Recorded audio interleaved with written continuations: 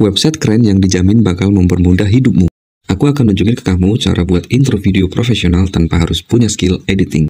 Langsung aja kunjungi website renderforce.com. Pilih video, lalu klik intro, dan kamu bisa atur landscape ataupun portrait.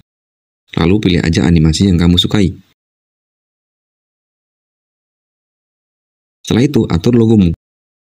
Lalu sesuaikan gambar, terus pilih style yang kamu mau. Kamu juga bisa menambahkan background musik. Lalu pilih bagian face preview dan menunggu hasilnya.